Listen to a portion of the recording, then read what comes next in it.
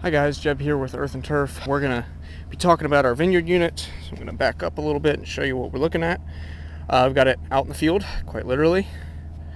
And I wanted to explain some of the connection points. Uh, if you've not run one before, you know, the hydraulics are a little bit different than some other spreaders. A lot of spreaders out there are PTO driven, and so I figured I'd go over some of the controls and everything just to make it clear. So first thing we're gonna be looking at is, I'm gonna come right in here. You got two lines that run down the side of the unit. This is the model 320V, which would be similar to the 320H and the 220 series in the H. Uh, just means that it's hydraulically driven. So we're gonna go and look in here and check out those hydraulic fittings. Now these are smaller than most of the ones that we send out. You'll have to forgive me, it's a little hard to access here in the back of the tractor. So just a, a standard fitting, this is a smaller one, not unlike what you may have on a front end loader. So if you look over here, um, these fittings are similar, however, these ones are actually a hair bigger. So just depends on what you got. Some people run these hydraulics from the front end loader. We got the uh, the rear option mounted, and then on most bigger tractors, you know, something that's not so small, you're going to have the option for actual fittings for farm equipment. So that's typically what we're sending out. Um, can be complicated, doesn't really have to be. You've got one, one line out, one line back. Uh, I don't know which one's which, it depends on how you hook them up really. So we've got those two lines. On this tractor, with hydraulic controls right here. One goes that way and one goes this way. Uh, or I should say the same thing goes either way depending on what you're looking for. So if you go this way, it's going to cycle the fluid, uh, let's say for example, in this one and out this one. Uh, it depends on how they're hooked up down here. You can hook them up differently. Um, so you just got to figure out what works for yours. Some tractors I know only have one direction of flow, so you just have to work with that if that's if that's what you have. Make sure that you hook them up in the right order that you're spreading. So we're going to come to the back of the spreader here uh, to see the controls. So you've got your hydraulic controls right here. This one, this unit's a little bit dirty, don't mind that. Right here is going to control your main drive belt. So that controls the speed at which this belt is going to be flowing and then this one right here is going to control the side conveyor. So that's going to control that speed. Uh, basically, you've got a, anything from zero all the way up to 10 here. You can just loosen like so, adjust it to where you like, and screw down this little, uh, I don't know what you'd want to call it, I guess a screw, cap screw, something like that, just to hold it in place. Uh, what you're going to want to do there is find what kind of projection works best for you. So I've got the rake sitting down right here. If we were looking to spread maybe that far, uh, maybe a certain volume or something like that, that's when you'd really want to tune those to exactly what you're looking for. Uh, you can make it so that it shoots further, less material, shorter, more material, or further, more material, whatever. You've also got the end gate over here. So this one, you got a little spring pin that you're gonna pull out. You'll have to work with me there. There we go. Uh, lock it into place, and then you can see exactly how this works. Extremely simple system. So I'm going to close this down a little bit and then I'm just going to rotate this spring pin like so. And that'll lock back into position there. So that way the gate is fixed. That's going to control how much flow you're actually getting out the back of the spreader. So you notice it's only going to be spreading by volume about this much. So you can open it all the way up, you can close it all the way down. Totally, again, depends on what you're actually looking for out of your spread. Other than that, there are no specific controls to be looking for. There are adjustments and everything, just like the standard 320. You've got a belt adjustment right here. You loosen your lock nut, tighten accordingly. You've got the same clean out option. So right here, you want to make sure that your belt's got about that much play, not much more, not much less. This one's actually been run, so it's it's adjusted already. Um, but then, of course, you want to clean out under here with your pressure washer. I'll see if I can get a little bit of dirt. You don't want this dirt in here, and it's obviously loaded right now, so that's why it's a little bit dirty. You want to be sure that you clean out that dirt.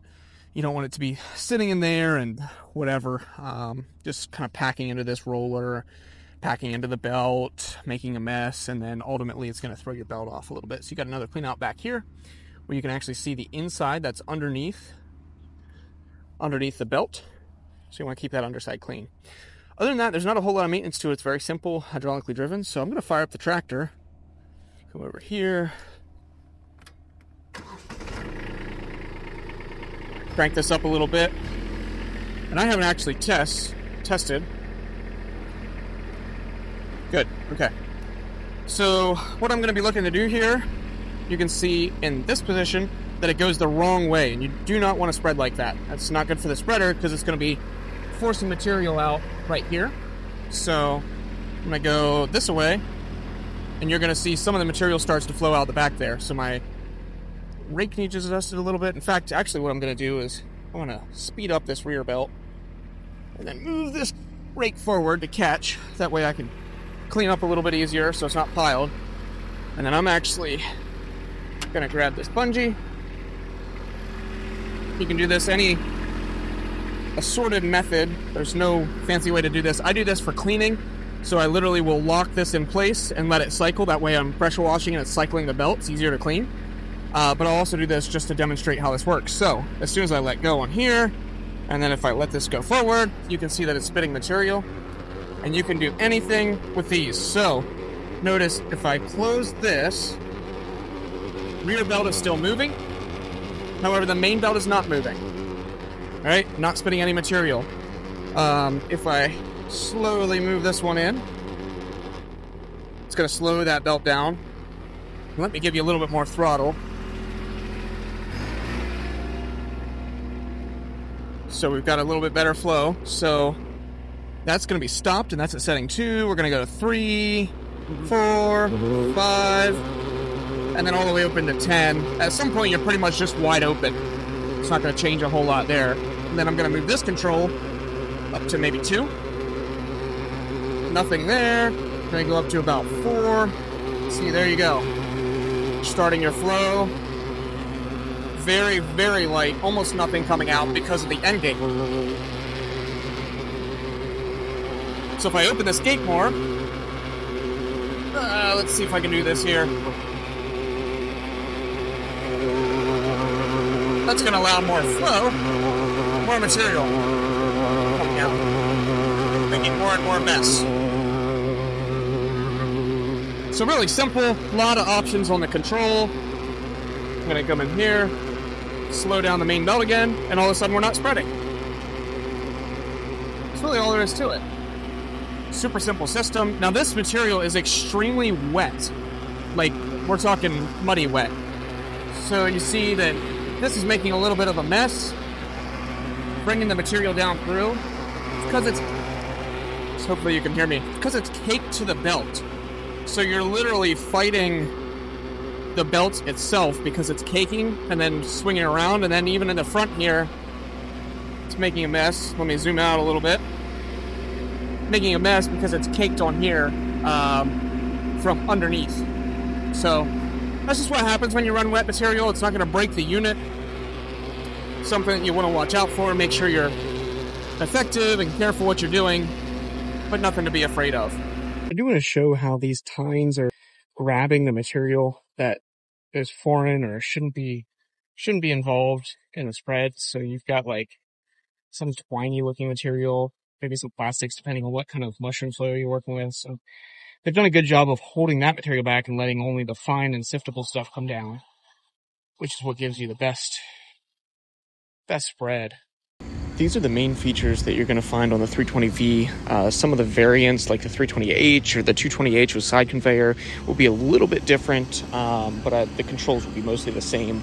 I'm actually just going to run this out in the empty field and then point out a couple of features that are important on this model. So this one has the tandem walking axle.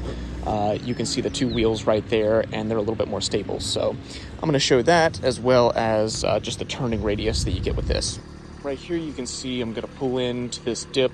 Uh, you can't see it super well because of the camera angle. It's not as steep as it could be, but this is loaded full and heavy, wet material. Uh, and you see how that walking axle just handles the hill.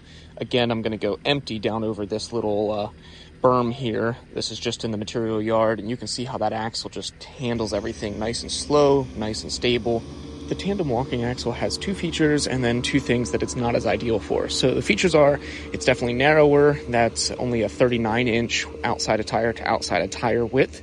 So that's ideal for your tight rows. And then of course it contours your bumps and hills very well because the, the axle walks.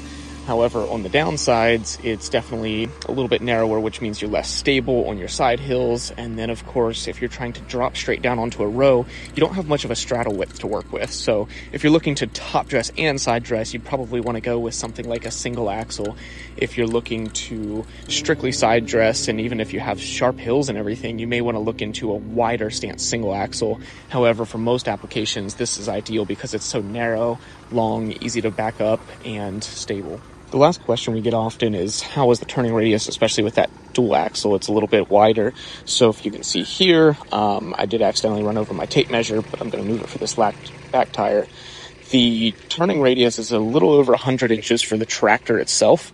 And then as I get in here with the side dresser, you're coming in right over the seven foot range. So depends on what you're working with for your rows and how much room you have to turn around and what your tractor can do.